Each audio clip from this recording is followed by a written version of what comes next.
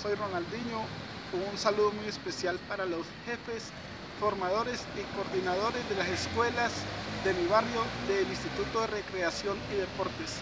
Felicitarlos por esa labor tan bonita que están haciendo con los niños, motivarlos a que sigan adelante con sus proyectos, en especial a mi gran amigo Santofinio, un abrazo y espero verlo muy pronto por acá.